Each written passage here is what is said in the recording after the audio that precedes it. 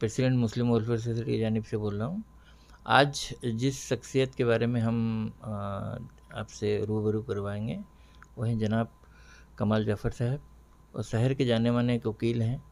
और वो आज से सोचिए पचास साल पहले इस प्रोफेशन में कैसे आए। आ, वो उन्होंने बीएससी का एजुकेशन किए थे एमएस लॉ कॉलेज कटक से वकलात का पढ़ाई किए। और उस वक्त जो है वकलात में बहुत कम लोग पास किया करते थे। न्यूज़ जो है पेपर में आता था तो उसमें वो कामयाब किए, फिर इस प्रोफेशन में आए। उस वक्त ये जो है, बहुत तरह का जॉब मिलता था। उस वक्त वो इस प्रोफेशन में आकर कैसे कामयाब हुए और अब तक भी वो एक्टिव हैं। ये हमारे जो हैं मुस्लिम बच्चे हैं जो सोचते हैं कि हम लोग करेंगे प्रैक्टिस सक्सेस होगी कि नहीं, ये उनसे जो है सुने कि कैसे कामयाब का राज क्या है उनसे। नाजरन कराम, अस्सलाम वालेकुम वरहमतुल्लाहि वबरकातुहू। नाजिन कराम, इस वक्त हम मौजूद हैं बालासोर के सबसे सीनियर एडवोकेट, यानी वकील जनाब अलहाज कमाल जफ़र साहब के मकान में मौजूद हैं और कमाल जफ़र साहब हमारे साथ मौजूद हैं। आज खसूसी गुफ्तु करेंगे कमाल जफ़र साहब से, क्योंकि आप कमाल जफ़र साहब की जो शख्सियत है, उसके बारे में उनकी जो है जो काम है, वो जो काम करते हैं, जिस तरह वो एक्टिव रहते हैं, वो तमाम तो आप जानते हैं। लेकिन आज हम जानेंगे उनकी बैकग्राउंड के बारे में, यानी उनकी जो है, जो माजी है, वो किस तरह रही, उसके बारे में जानेंगे। क्योंकि हर एक कामयाब शख्स किस तरह कामयाब बनता है, ये जानना हम सबों के लिए ज़रूरी होता है। आइए, हम सीधा कमाल जफ़र साहब से पूछेंगे कि उनका बचपन कैसा रहा? उनकी पैदाइश कहाँ हुई? उनका बचपन कैसा रहा? और वो जो है अपनी तालीमी सफ़र कौन से स्कूल से शुरुआत किया? आला तालीम कहाँ से हासिल की? ये तमाम बातें हम कमाल जफ़र से साहब से जानेंगे। कमाल साहब आपका इस्तकबाल है अपना तर्जुमान में। और असल में एक मिशन आ, मुस्लिम वेलफेयर सोसाइटी के जो अभी नए सदर बने हैं जनाब मुख्तार साहब उनका ये सोच रहा कि बालेश्वर में बहुत सारे ऐसे शख्सियत हैं जिनको हम सब तो ऐसे ही जानते हैं ऊपर से। उनके बैकग्राउंड के बारे में, उनकी माजी के बारे में जानना ज़रूरी है कि आप कैसे, कहाँ से और कैसे काबिल बने और कैसे आपको काबिलियत के जो शख्सियत माना गया, क्यों माना गया। तो इस सोच को लेकर मुख्तार साहब ने मशवरा किया था। तो उसके बाद में हमने एक कदम उठाया कि हर एक कामयाब शख्स के जो है बारे में हम अपने नाजरन को, दर्शक को बताएँगे। सबसे पहले जानेंगे कि आपकी पैदाइश कौन से गाँव में हुआ या कौन से शहर में, या फिर पैदाइश के बाद में आपकी जो शुरुआती तालीम कौन सी स्कूल में रही, उसके बाद में आप जो है आला तालीम कहाँ से हासिल किए, ये तमाम थोड़ी बहुत जानकारी हमारे दर्शक को। सबसे पहले मैं आपका शुक्रिया अदा करता हूँ, अजीम साहब, और मुख्तार साहब पे भी शुक्रिया अदा करता हूँ। कि वो मेरे जैसे शख्सियत को चुने पहला मरतबा कि मेरे बारे में कुछ जानकारी हासिल करने के लिए। सबसे पहला बात तो ये है देखिए कि मैं मेरी पैदाइश जो है कटक में दरगाह बाज़ार में पैदा हुआ मैं। कटक की दरगाह बस वहाँ से मैंने हमारी शुरुआत हुई और वा, वालिद साहब जो थे वो पटना यूनिवर्सिटी से एम ए फाजिल करके इंग्लिश में एम ए आई ए करके पास करके आके वो वहाँ पे गवर्नमेंट स्कूल में कटक में रहे फिर वहाँ से वो ट्रांसफ़र होके आए बालेसर में। बालेसर से फिर यहाँ से ट्रांसफ़र होके गए संबलपुर में। संबलपुर से 1968 में वो रिटायर करके यहीं बालेसर को चूज़ किए आके सेटल करने के आपका ओरिजिनल गाँव जो मतलब वो, वो कहाँ है? हमारा ओरिजिनल गाँव होता है बालू बीसी मैंने अभी होता है वो केंद्रापाड़ा मैंने इसका जगत सिंहपुर डिस्ट्रिक्ट में। जाता है पहले था कटक डिस्ट्रिक्ट में। वहाँ पे हमारा असल गाँव है मेरे बाप दादा मेरे चचा वगैरह सब के सब वहीं पे हैं। बालू बीसी। बालू बीसी में। हम लोग यहाँ पे आके सेटल कर गए तालीम? हमारी इब्तदाई तालीम हुआ है शुरुआत हमारा ज़िला स्कूल संबलपुर से हुआ। वहाँ पे एकदम मैंने क्लास फोर से मैं शुरू किया मैट्रिक तक का वहाँ पे। मैट्रिक पास करने के बाद मैं गंगाधर महर कॉलेज में जाके एडमिशन लिया। फिर वहाँ से फिर हम लोग का जो जब वालिद साहब रिटायर करे तो मैं इधर में आ गया यहाँ पे आके फिर आपका बालासोर जो कॉलेज है फ़कीर मोहन कॉलेज वहाँ पे मैं एडमिशन लिया बीएससी यहीं से किया बीएससी फिज़िक्स ऑनर्स के साथ में। और मैं पहला बहुत कोशिश किया कि मैं नौकरी मिल जाए कुछ। बहुत हाथापाई करने के बावजूद भी मैं फेलियर रहा सब जगह। हाँ कहीं नौकरी नहीं मिला। तो वाली साहब मुझे मैंने आके मशवरा दिया कि देखो तुम एक काम करो तुम लॉ करो। लॉ में तो सब बच्चे मिल जाता है एडमिशन वगैरह तुम लॉ करना शुरू कर दो इधर में यार मत सोचो। तो मैं वहाँ से मैं चला गया लॉ करने के लिए कहाँ ना आपका फ़कीर मोहन ये मधुसूदन लॉ कॉलेज कटक में जाके मैं लॉ शुरू किया। लॉ में 1974 में किया 77 में पास किया। और यहाँ पे आके मैं ज्वाइन किया। तो आ, मतलब सीधा सीधा आप ये जो है आप मधुसूदन जो कॉलेज है जो मैंने लॉ कॉलेज है उससे आपने वकीलाती की पढ़ाई की। लेकिन जिस तरह आप की जो शुरुआती दौर थी, वो लगभग कब की होगी आपकी मतलब पैदाइश जानना चाहेंगे? क्योंकि दर्शक ये भी जानना चाहते हैं क्योंकि आप हमेशा फिट रहते हैं। और ऐसा फिट रहते हैं कि शायद ही हम जवान भी जो है शर्मा जाएँ आपको देखकर। तो आप इस तरह फिट रहते हैं, आपकी जो है चाल चलन उठ बैठ में कहीं पर बुढ़ापा नज़र नहीं आता। तो हमारे दर्शक ज़रूर जानना चाहेंगे कि आपकी पैदाइशी जो तारीख है, वो कब है? क्योंकि उस वक्त से लेकर अब तक आप फिट कैसे हैं? मेरी पैदाइश का तारीख होता है टेंथ अक्टूबर 1945 1945 फाइव। हाँ उसके बाद में मैं यानी आपका ज़िला स्कूल संबलपुर से मैं पास किया 1969 में एम सिक्सटी सेवन में। और फिर वहाँ से मैं मैट्रिक थर्ड डिवीज़न लिया आईएससी थर्ड डिवीज़न लिया। बीएससी फिजिक्स ऑनर्स के साथ में सेकंड डिवीज़न पाया। उसके बाद में लॉ कॉलेज में जब गया तो फ़र्स्ट ईयर जो है मेरा थर्ड डिवीज़न हुआ। पास जस्ट पास करना पड़ा। और इंटर लॉ जो है सेकंड डिवीज़न हुआ। और फाइनल लॉ के टाइम में मैं ऑल उड़ीसा के अंदर में 22 बच्चे पास किए थे फाइनल लॉ में उसमें मैं सिक्स पोजीशन रखा।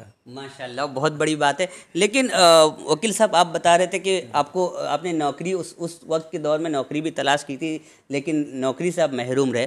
आ, लेकिन आ, जैसा कि माना जाता है आप आज़ादी से पहले आपने कहा 1945 में आप आपकी पैदाइश यानी ना, नाजरीन मतलब ये ये ये डेट ऑफ़ बर्थ जानने के बाद तो मैं भी चौंक गया हूँ कि 1945 यानी आज़ादी से कबल, जब हिंदुस्तान आज़ाद नहीं हुआ था, अंग्रेज़ों के कब्ज़े में था, तब कमाल जफ़र साहब की पैदाइश हुई और लगभग सेवेंटी फाइव से ज़्यादा हो गया हो।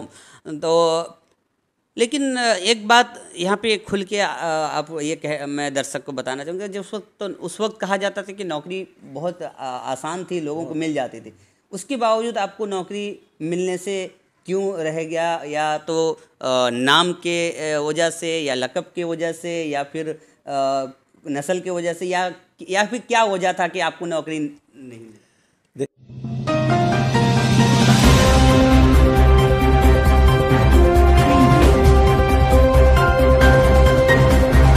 ରାଶିରତ୍ନ ଗ୍ରାହକଙ୍କ ପାଇଁ ଶୁଭ ଖବର ପ୍ରଥମ ଥର ପାଇଁ ବାଲେଶ୍ୱର ସହରର କଚେରୀ ରୋଡରେ ଖୋଲିଛି ରାଶିରତ୍ନର ଅତ୍ୟାଧୁନିକ ସୋରୁମ୍ ଏମ୍ ଡି ଜେମ୍ସ ଏହି ସୋରୁମ୍ରେ ବିଭିନ୍ନ ପ୍ରକାର ରାଶିରତ୍ନ ଯଥା ଏକମୁଖୀ ରୁଦ୍ରାକ୍ଷ ପଞ୍ଚମୁଖୀ ରୁଦ୍ରାକ୍ଷ ଅଷ୍ଟମୁଖୀ ରୁଦ୍ରାକ୍ଷ ଚଉଦମୁଖୀ ରୁଦ୍ରାକ୍ଷ ଶ୍ରୀଯନ୍ତ୍ର ନବଗ୍ରହ ଯନ୍ତ୍ର ବଗଳାମୁଖୀ ଯନ୍ତ୍ର ସହ ବିଭିନ୍ନ ଷ୍ଟୋନ୍ମାନ ବିକ୍ରି ହେଉଛି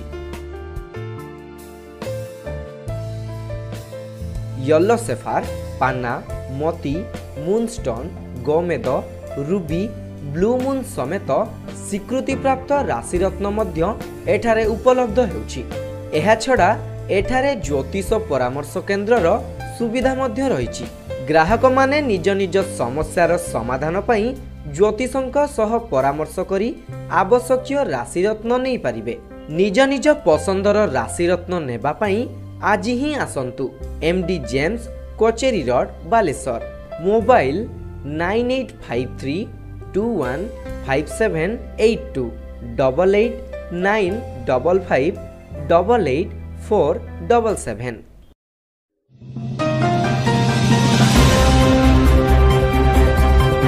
देखिए मैं यहाँ तक कि मैं नौकरी के लिए जो एक्साइज डिपार्टमेंट जो कनेस्टेबल होते हैं हाफ पैंट पहन के उसके लिए मैं अप्लाई किया था। मेरा मैंने राइटिंग और बोलने का पावर बहुत ज़्यादा था। जी। इंग्लिश में और राइटिंग में सब में सब में बहुत और स्पोर्ट्स में भी बहुत अच्छा था।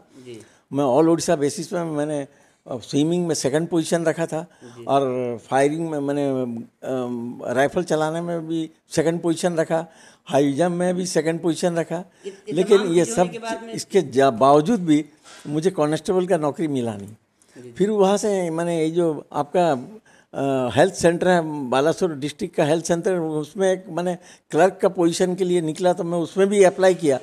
वहाँ पे भी मैंने सब राइटिंग और मेरा भाया बस वगैरह सब ठीक होता लेकिन मुझे बैकग्राउंड मुझे मिला नहीं कुछ। मैं कहीं से अगर जब मतलब कहीं से सीधा सीधा अगर कि मैं अपने ज़ोर से चाहता था कि यानी अपने बलबूते के ज़ोर से मैं जैसा पाऊँ जैसा मैं नौकरी वो चीज़ मैं कर सका नहीं। उसमें कामयाब हो सका नहीं। और किसी का सिफारिश लेके आने से तभी मैं कामयाब हुआ रहा था तो जैसा कि अभी भी माना जाता है कि सरकारी नौकरी के लिए सिफारिश सिफारिश की ज़रूरत होती है। आप भी क्या मान रहे हैं कि हाँ सिफारिश की ज़रूरत होती है सरकारी नौकरी के लिए? क्या काबिलियत उसमें काबिलियत उस पर भारी नहीं पड़ता? नहीं काबिलियत भी अभी देखिए मैंने काबिलियत जो है मैंने देखा जाता है काबिलियत भी देखा जाता है उसके साथ साथ सिफारिश भी देखा जाता है। सिफारिश की हाँ ज़रूरत गिर जाती है। बहुत अहम जानकारी के, इतने पढ़ लिखने के बाद भी सिफारिश की ज़रूरत पड़ती है सरकारी नौकरी पाने के लिए। लेकिन कमाल साहब जो है आपका जो बचपन में जो गाइड, आपके वालिद साहब, आपको किस तरह करते थे, आपके बचपन किस तरह गुजरा? क्योंकि वालिद साहब की जेर साया जो है, आप लोग काबिल, आप काबिल बने। तो क्या कहेंगे, वालिद साहब किस तरह आपकी जेर निगरानी करते थे?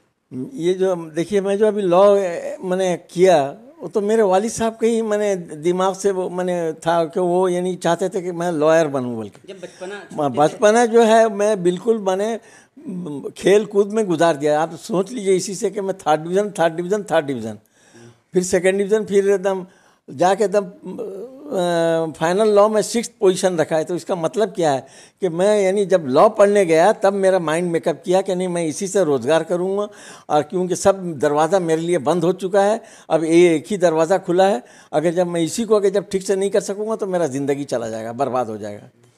तो इसलिए मैंने वक्त जो बचपन का जो वक्त गुजरा जवानी का भी जो मैंने अप टू मैंने बीएससी कैरियर तक का मैं पढ़ाई में कभी भी मैंने ध्यान ठीक से दिया नहीं। सिवाय मैंने लॉ के। वकील साहब, इस वक्त हमें जो जानकारी है कि आप बालाशोर के, अगर कहा जाए तो अकलीती तबके में जो है मुसलमानों के दरमियान जो है आपका जो नाम एडवोकेट के लिस्ट में सबसे अव्वल नंबर पे आता है और आप ही एक ऐसे एडवोकेट हैं जो अपने जूनियर जो है पंद्रह बीस जूनियर को रख कर जो है आप काम करवाते हैं और उनका जो है घर आपके वजह से चलता है।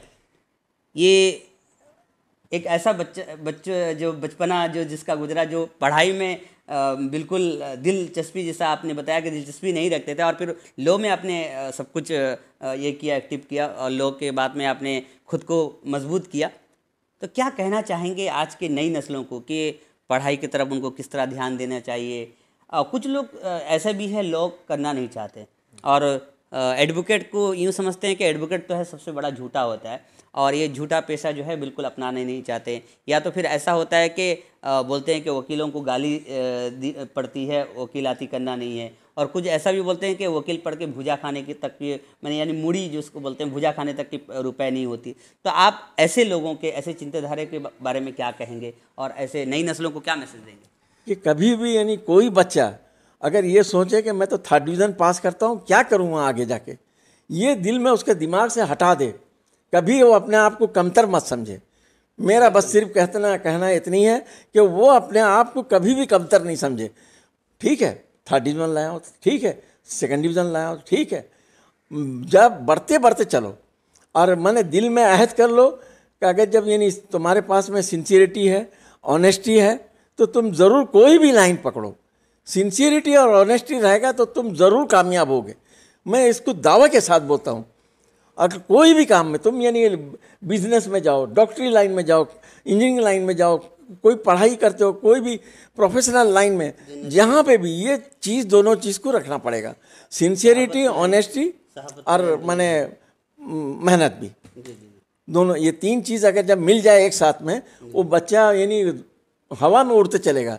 वो जम, ज़मीन से भी फिर हवा में चला जाएगा। वो मैंने जब वो साइकिल चला रहा है तो बाई प्लेन भी चढ़ चढ़ना सीख जाएगा बहुत बड़ी बात है कमाल ज़फ़र साहब का जो मेरा हम सवाल रखे थे कि जो नई नस्लों को क्या कहना चाहेंगे? क्योंकि नई नस्लें जो है दिल बर्दस्ता हो जाते हैं कि क्या करेंगे वकीलाती पढ़ के और लोगों को इंसाफ दिलाने के बजाय हम खुद खाने तक नहीं पाएँगे। ऐसे सोच ऐसा चिंताधारा जो है आ जाता है। लेकिन वकील साहब का कहना है अगर आप के अंदर काबिलियत है, आप अपने आप को छोटा ना समझें, आगे बढ़े और सब कुछ जो है मंजिल आप पार कर सकते हैं, तय कर सकते हैं।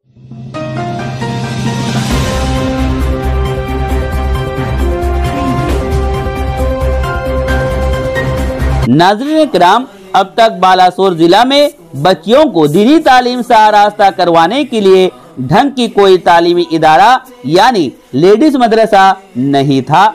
लेकिन खुशी की बात यह है कि हज़रत मौलाना खुशतर रजा कादरी की पुरजोश कोशिशों से रमना के बगलपुर में एक ज़बरदस्त लेडीज़ मदरसा अल जामियातुल बनात आयशतुल के नाम से कायम किया जा चुका है, जहाँ दीनी तालीम के साथ बच्चियों को असली तालीम से भी आरास्ता करवाया जाएगा। लिहाजा इस इदारा को मजबूती बख्शने के लिए आप सब भी अपना ताउन भरा हाथ बढ़ाएँ। सदका जक़ात और अतिया अलजामियातुल बनात ताहिरा के नाम कर सवाब दारैन से माला माल हो। स्क्रीन पे दिए गए अकाउंट नंबर, फ़ोन पे और गूगल पे नंबर पर रुपए भेज सकते हैं।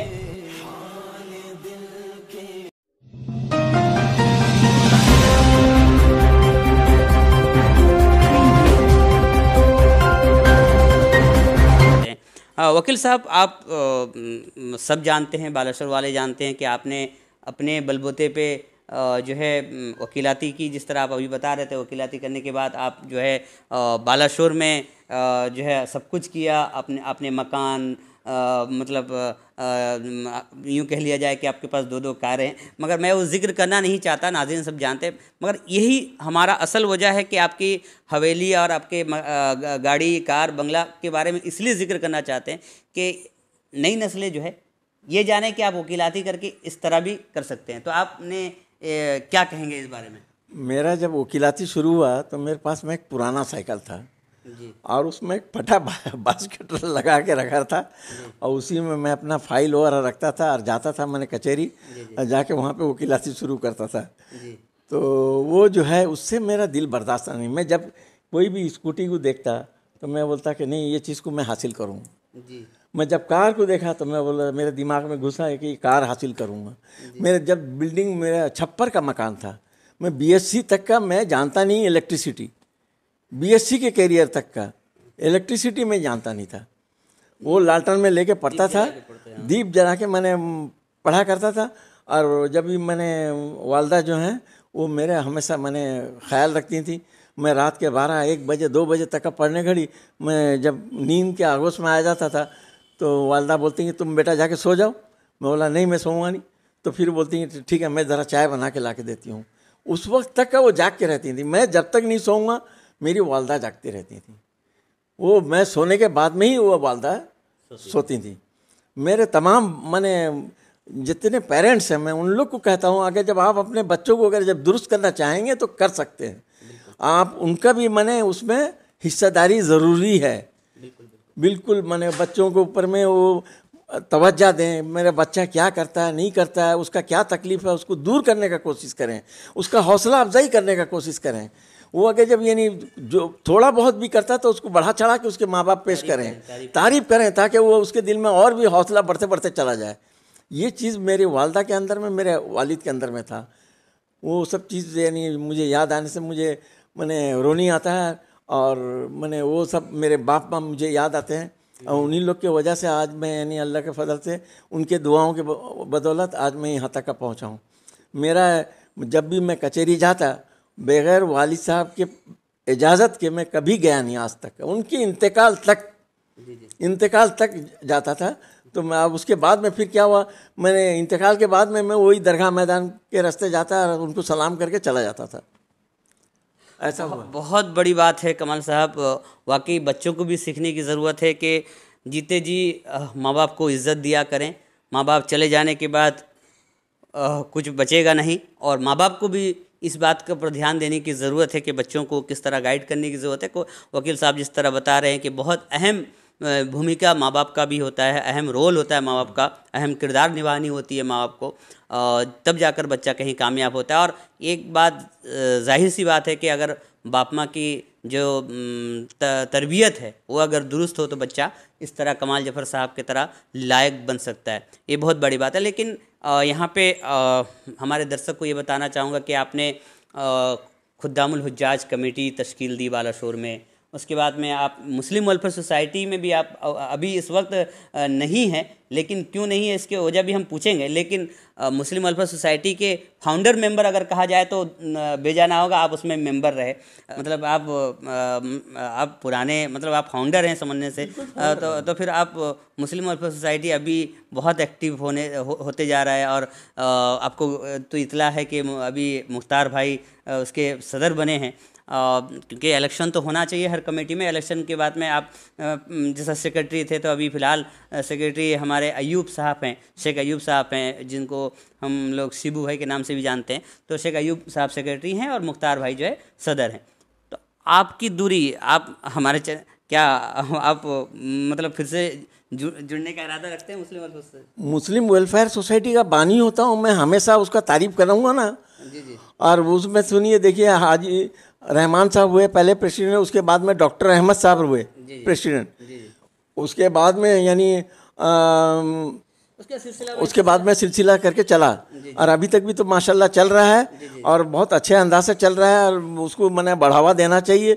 और मुस्लिम वेलफेयर सोसाइटी का जो हमारे मुख्तार उद्दीन साहब जो हैं राजा मियाँ और वो तो इतने अच्छे बड़े अच्छे शख्सियत हैं। जो भी एक बने इंस्टीट्यूशन बनाया जाए कोई भी सोसाइटी बनाया जाए अगर जब वो कुछ कर रहा है तो उसका हौसला अफजाई कीजिए। तो, उसका पैर पकड़ के मत टानिए।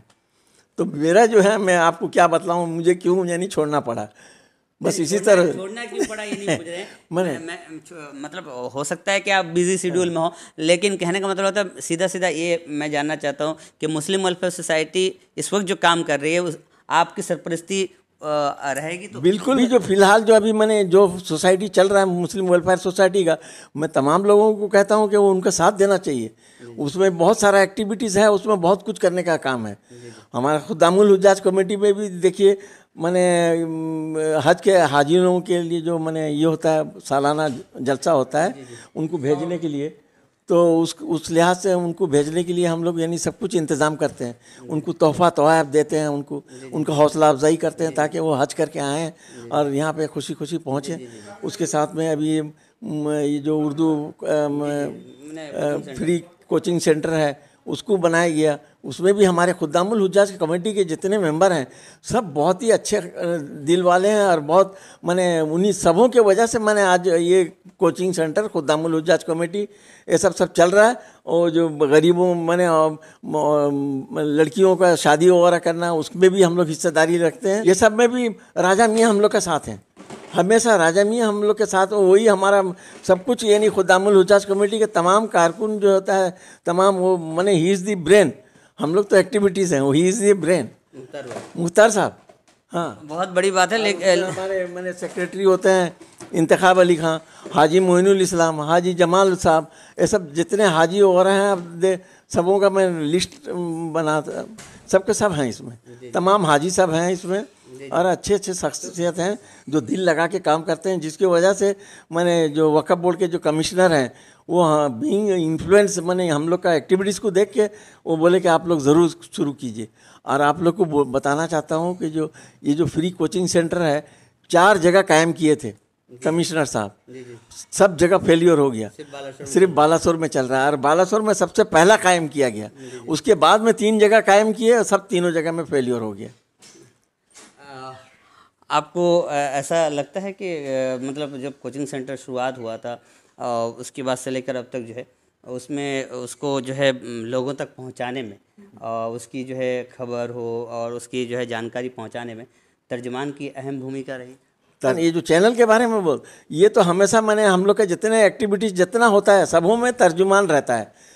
वो तर्जुमान चैनल यानी उसके साथ में और दूसरे दूसरे चैनल, लेकिन ये चैनल हमेशा काम करते रहते हैं और माशाल्लाह हौसला अफजाई करते रहते हैं, जिसके वजह से हम लोग बहुत खुश हैं ये चैनल से और उम्मीद करते हैं कि ये चैनल और भी तरक्की करे।